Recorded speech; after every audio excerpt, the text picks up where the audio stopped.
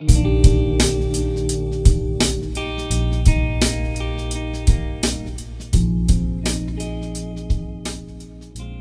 witam Was w kolejnym filmie na moim kanale. Jak możecie zobaczyć po tytule i po tym, że nie mam na sobie ani grama makijażu, dzisiaj e, robię dla Was swoją wersję Vogue Beauty Tricks, czyli po prostu zrobimy sobie razem makijaż, pokażę Wam kilka moich makijażowych trików, chociaż nie wiem, czy mogę to tak nazwać, bo ja ogólnie mistrzynią w makijażu nie jestem, ale myślę, że wiem, jak zrobić taki fajny, codzienny makijaż. Pokażę Wam też pielęgnację moich e, włosów troszeczkę i pielęgnację twarzy. No i myślę, że możemy zaczynać. Jeśli chodzi o spineczki, to są one z Reserved, ale średnio je polecam, bo dosyć spadają i słabo trzymają włosy, ale wyglądają za to bardzo ładnie. No i jak widzicie, włosy mam jeszcze mokre, ale nimi tymiemy się na sam koniec, a zaczniemy od pielęgnacji twarzy oczywiście. Ok, i zaczniemy sobie od pielęgnacji, tak jak mówiłam. Jeżeli będę patrzeć tą stronę, to dlatego, że mam tutaj lusterko, muszę wiedzieć co robię. I zacznijmy od pielęgnacji ust. Ja zawsze używam do tego tego produktu z Isane. To jest po prostu zwykły taki balsam do ust. On kosztuje w aptece chyba z 10 zł, ale jest naprawdę najlepszy. Nic mi tak ust nie nawilża. I w ogóle pokazał mi to mój tata, bo mój tata w ogóle ma obsesję na punkcie nawilżania ust. Dlatego jeżeli on mówi, że jakiś produkt jest dobry, to znaczy, że jest dobry, więc bardzo Wam polecam. Jeżeli chodzi o pielęgnację twarzy, to dwa produkty, których używam na zmianę, to są te dwa kremy z uzdrowiska, taki całodniowy krem i jeszcze taki typowo nawilżający Dermedic. Mój ukochany krem to jest w ogóle taki z Red Blockera do cery naczynkowej. Zresztą możecie zauważyć, że jest trochę zaczerwieniona. Po prostu właśnie mam tą cerę naczynkową i on jest świetny, ale niestety mi się skończył.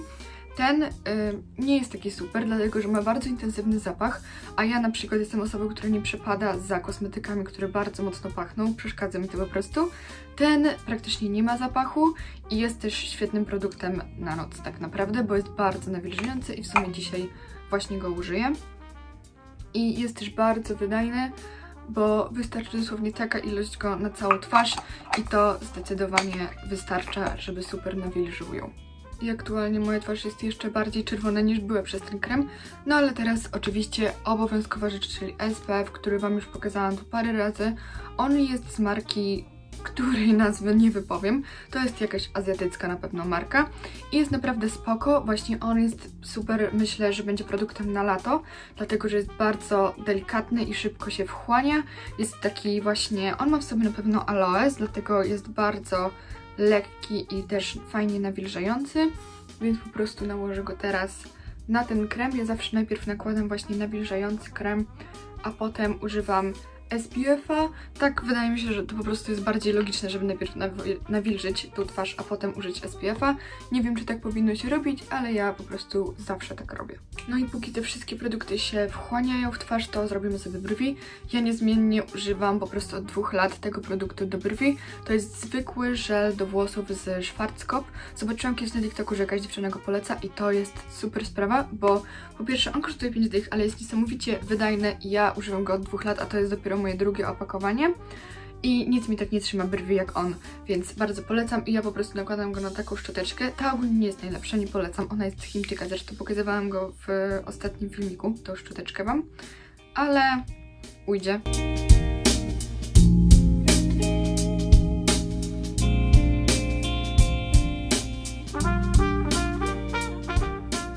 No i brwi są już gotowe. Zajmuje to dosłownie chwilę, przyczesam to potem jeszcze patyczkiem i płynem micelarnym, żeby ten żel nie został mi po prostu na czole, bo potem jak nałożę podkład będzie to okropnie wyglądało. No i właśnie teraz możemy przejść do podkładu.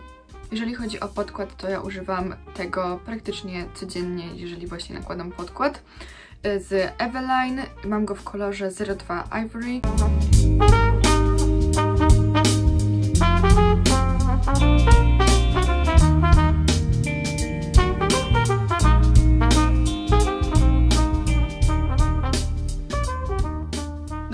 Podkład już jest, jak widzicie kolor jest naprawdę super i fajnie się wtapia, ale możecie zauważyć, że nie nałożyłam go w ogóle pod oczy, bo nie chciałam, żeby pod oczami to mi było zbyt ciężko. No i teraz przechodzimy do korektora. Nie znalazłam też jeszcze takiego idealnego korektora, ale ten ma predyspozycję naprawdę dobry korektor. Użyłam go od niedawna, ale jest to e, korektor z Rimmela i mam go w odcieniu 0,10 Fair i ja korektor nakładam w takie miejsca, że nakładam go pod oczami i nakładam go w ten sposób, że nie robię właśnie tak po całości, tylko nakładam go w wewnętrzny kącik oraz w zewnętrzny przez co te oko po prostu tak bardziej robi się takie kocie, można powiedzieć. Y, do tego oczywiście na czoło, tutaj czubek nosa i coś, co powoduje, że bardziej uwidacznia nam to kości policzkowe, to biorę korektor i nakładam go tutaj w tym miejscu. No i jeszcze trochę na brodę. No i wszystko wklepuję i ten korektor wklepuję tak, że właśnie wklepuję go tylko tutaj, nie na cały policzek. Dzięki temu, że ten korektor jest jaśniejszy niż mój podkład, to właśnie robi nam tutaj tą piękną kość policzkową. Kolejne mokre produkty, których używam to bronzer i róż. To jest mój ukochany y, właśnie bronzer w płynie i używam go praktycznie codziennie. Jest on z Gosha, ma idealny odcień, super się blenduje. Y, jest też bardzo wydajny, bo nie potrzeba go dużo. Jedyne co, to ciężko się go dosyć odkręca, ale to tak naprawdę jego jedyny minus. A tak, to jest naprawdę świetny, bardzo Wam polecam. Ja go mam w tym jaśniejszym odcieniu, z tego co mi się wydaje. Nie widzę tutaj tego. O, jest 01 Fair, czyli właśnie ten taki najjaśniejszy odcień i jest naprawdę super, ma fajny kolor, nie za ciepły, nie za jasny, taki idealny właśnie na co dzień.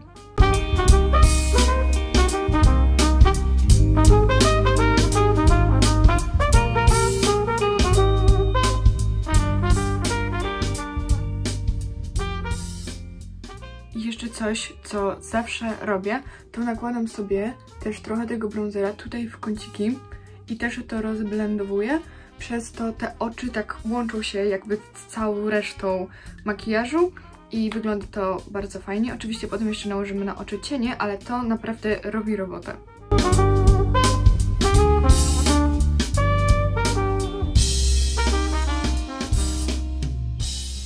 No i moje największe odkrycie, jeśli chodzi o róże, jest to ten róż w płynie z Eveline, którego używam też codziennie. Już prawie go tutaj nie ma, więc muszę kupić następne opakowanie, ale jest przecudowny. Pewnie widzieliście go już na TikToku, bo dużo osób na TikToku go polecało. No i nie dziwię się, bo jest naprawdę super. Nie trzeba go dużo, żeby zrobić fajny efekt. Ja bez róży nie wyobrażam sobie żadnego makijażu. I ten jest naprawdę najlepszym różem w płynie, jaki miałam. Ja mam go w tym trzecim, takim chyba najbardziej w sumie różowym odcieniu. Jeśli chodzi o róż, to ja nakładam go w tym miejscu, na policzkach. I oczywiście z drugiej strony, troszeczkę na nos i tak naprawdę to wszystko. No i możecie zobaczyć, jak te wszystkie mokre produkty świetnie wyglądają na twarzy. Wygląda on właśnie taką bardzo świeżą, ale używam pudru w tym momencie. Nie nakładam go na całą twarz oczywiście, bo nie chcę zniszczyć tego efektu. Jedyne co to robię baking w tym miejscu tutaj pod kościami policzkowymi, troszeczkę w strefie T, czyli na twarzy i od tutaj na płatkach nosa i tak naprawdę to wszystko. Jeżeli chodzi o puder, który mi najbardziej się sprawdza, to jest to ten z Paese. Kupiłam go w Hebe w sumie dosyć ostatnio i jest naprawdę najlepszym, który do tej pory miałam. I rzecz, która w moim makijażu bardzo dużo zmieniła, to robienie tego bakingu, jak widzicie, dosyć wysoko, przez co robi nam się ta twarz taka Wiecie o co chodzi.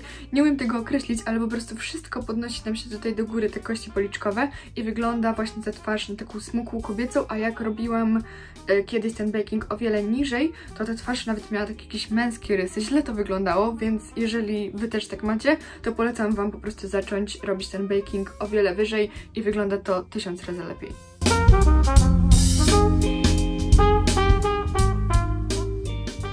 Po bakingu przechodzimy do oczu, użyję do nich takiej paletki, zrobimy sobie brązowe kreski i delikatnie podkreślimy te oczy jakimś brązowym cieniem, a dokładnie to bronzerem. Użyję potem tego bronzera na policzki, a teraz użyję go na oczy, użyję właśnie tego na dole bronzera. On ma taki fajny, uniwersalny odcień, więc myślę, że wielu osobom będzie pasował, więc zaczniemy właśnie od niego. I ja użyję do tego takiego puchatego pędzelka, po prostu nakładam ten cień na pędzelek, zaczynam od zewnętrznego kącika i delikatnie rozprowadzam to aż tutaj właśnie na całe te załamanie powieki i tak naprawdę to wszystko, jeżeli chodzi o ten bronzer. No i teraz biorę tą paletkę, użyję tego najjaśniejszego brązowego cienia, takiego bardzo cieniutkiego pędzelka i zrobimy sobie kreski. Ja nie jestem w tym jakąś mistrzynią, szczerze mówiąc, ale jakoś tam one mi wychodzą. Po prostu robię w ten sposób, że właśnie od tego zewnętrznego kącika rysuję sobie kreseczkę.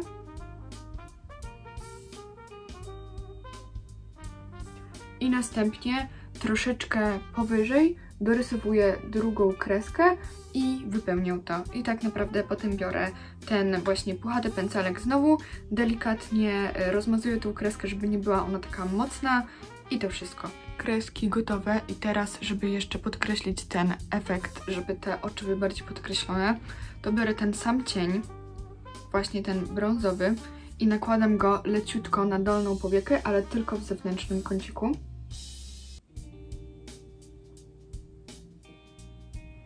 Właśnie w ten sposób i to według mnie robi bardzo dużą różnicę, bo podkreśla właśnie ten koci kształt oka. No i teraz biorę taki puchaty pędzelek i strzepuję sobie baking spod oczu. Pamiętajcie, żeby go też nie trzymać za długo, bo zrobią Wam się takie brzydkie, białe kreski od tego bakingu i to też będzie źle wyglądało. No i jeszcze przed wytuszowaniem rzęs, co oczywiście jest też obowiązkową częścią mojego makijażu, wezmę sobie znowu ten bronzer i nałożę go na brodę, policzki, czoło, po prostu tam, gdzie kładłam ten płynny bronzer, żeby po prostu podkreślić ten kontur jeszcze bardziej. I jeżeli chodzi o róż, to też jeszcze bardziej podkreślę go, używając takiej paletki. Ona jest z Douglasa i mam już chyba, no na pewno ponad rok i no myślę, że nawet więcej, z dwa lata. I e, ona jest z jakiejś po prostu zimowej kolekcji i ma tutaj sześć różnych odcieni róży. W ogóle nie wiem, czy widać, ale one tak przepięknie się mienią, odbijają światło. I ja używam tego najbardziej różowego i najczęściej któregoś z tych dwóch po prostu mieszam je ze sobą, też nakładam na policzki w to samo miejsce, co wcześniej nakładałam ten płynny róż. I teraz największy game changer, czyli zrobimy sobie rzęsy. Ja rzęsy zawsze podkręcam zalotką, bo ja mam bardzo długie rzęsy, ale są totalnie proste, więc bez zalotki u mnie się nie obejdzie. Bardzo Wam polecam, jeżeli macie ten sam problem, po prostu robić laminację, ale ja ją robiłam już jakiś czas temu i po prostu mi zeszła, muszę się znowu umówić więc podkręcamy rzęsy, a jeżeli chodzi o tusze, to ja nie mam jakiegoś ukochanego tuszu. Uważam, że w ogóle bez sensu jest używanie jakichś drogich tuszów do rzęs, dlatego że można znaleźć bardzo fajne, tanie tusze. Ja bardzo Wam polecam z Eveline, ten jest właśnie jakiś z Eveline i jest bardzo spoko, taki typowo wydłużający rzęsy. Ja zawsze używam dwóch tuszów, y, właśnie jednego, który wydłuża te rzęsy i drugiego pogrubiającego. Tutaj mam akurat taki z Bell, ale ten tak średnio Wam polecam, ale te z Eveline tak naprawdę praktycznie wszystkie mi się sprawdzają. I jeszcze jeden mój ukochany, który mi się ostatnio skończył, to jest ten z Maybelline, ten różowy, gdzieś tutaj Wam wkleję jego zdjęcie. On jest naprawdę najlepszy i lubię go najbardziej ze wszystkich. I teraz możecie zauważyć podkręcone rzęsy, niepodkręcone jest kolosalna różnica. I tak prezentują się rzęsy. Ja tuszuję tylko górne rzęsy, bo podoba mi się właśnie ten efekt otwartego oka. Jeżeli chodzi o usta, bo to już tak naprawdę ostatni etap naszego makijażu, to ja używam konturówki. Ta jest moją ulubioną, to jest w ogóle konturówka od Vicky Gabor, na którą trafiłam bardzo przypadkowo, a ma super odcień, więc bardzo polecam. I jeżeli chodzi o błyszczyki, to używam naprzemiennie tych dwóch. Nie używam żadnej pomadki, tylko konturówka i właśnie błyszczyk. Ten jest z Eveline i mam go od dosyć niedawna. To jest odcień 01, jakiś bestseller podobno, ale ja trafiłam na niego bardzo przypadkowo. A jeżeli chodzi o te błyszczyki, to one są moimi ulubieńcami odkąd pamiętam. Yy, one też super nawilżają usta, więc to jest kolejny ich plus i mają bardzo fajne odcienie. To jest akurat odcień Glossy Cut i jest super i pięknie się komponuje właśnie z tą konturówką. Jeśli chodzi o to, jak ja konturuję usta, to konturuję tylko tą górną część, po prostu łączę ze sobą dwa te łuki ust i robię to w ten sposób i tak samo na dole tylko konturuję tą dolną część, nie tutaj kąciki, w ogóle ich nie ruszam, dzięki czemu te usty są powiększone, ale wygląda cały czas bardzo naturalnie. Nie lubię przesadzać też z tym efektem powiększonych ust konturówką, bo po prostu jak spojrzy się z bliska, to widać, że wygląda to bardzo sztucznie. No i dzisiaj użyję sobie właśnie tego mojego ukochanego błyszczyku z Rimmela. I tak wyglądają gotowe usta i zapomniałabym kompletnie o rozświetlaczu, więc teraz kończymy całość rozświetlaczem. Ja używam takiego dosyć złotego z Han. O wiele bardziej lubię te złote rozświetlacze. Są one po prostu, no nie wiem, bardziej pasują według mnie do mojego makijażu. E, on nie jest jakiś drogi, nawet nie pamiętam gdzie go kupiłam, po prostu skończył mi się wcześniejszy rozświetlacz, którego nie do końca byłam zadowolona, szukam jakiegoś fajnego, chyba w Hebe go kupiłam. Jest naprawdę spoko i niedrogi. Jeżeli chodzi o rozświetlacz, to ja go nakładam takim płaskim pędzelkiem, oczywiście na górę kości policzkowych i palcem nakładam na czubek nosa oraz w tym miejscu. Ja nie żałuję sobie rozświetlacza. Yy, nakładam też oczywiście w tym miejscu na łuk kupidyna, tak mi się wydaje, że to się nazywa. I yy, nakładam też w kąciki oczu, żeby rozświetlić to miejsce. Lubię też troszeczkę dalej ten rozświetlacz położyć aż tutaj na powiekę, żeby też troszeczkę optycznie powiększyć oko i je rozświetlić. No i oczywiście pod brew. I to wszystko robię palcem, bo po prostu mogłabym to robić pędzelkiem, ale po co jak mam palec? No i w tym momencie makijaż jest już skończony, więc przechodzimy do ogarniania moich włosów, które już prawie wyschły, a najpierw wysuszę je suszarką i wrócę do Was i opowiem o nich troszeczkę więcej. Przed suszeniem jeszcze nakładam na nie produkt z Only Bio. Jest to termoochrona w mgiełce. Y, zapach nie do końca mi odpowiada, ale robi swoje, y, bo naprawdę te włosy są ochronione i o wiele mniej się niszczą. Czuję tę różnicę, bo wcześniej nie używałam takiego produktu, a teraz używam i naprawdę widzę różnicę. No i niezbędny element, którego używam tak naprawdę zawsze, jest to olejek i ten olejek, on jest niesamowicie tani. Nie pamiętam dokładnie ile kosztuje, ale naprawdę jest niedrogi, kilka złotych. I jest to olejek z czarnuszki z filtrem UV. On y, właśnie jest dostępny w Rossmanie, jest naprawdę niedrogi, bardzo wydajny, bo wystarczy go naprawdę kropelka. Poza tym przepięknie pachnie, no i jeszcze go nie nakładałam dzisiaj, więc teraz nakładam go dosłownie odrobinkę i w całe włosy wsmarowuję. I naprawdę te włosy są wtedy tak gładziutkie i przepięknie pachną i zawsze dostaję mnóstwo komplementów, jeżeli w takich świeżo właśnie umytych, posmarowanym tych, tym olejkiem włosach wyjdę że przepięknie te włosy pachną i jest to właśnie ten olejek.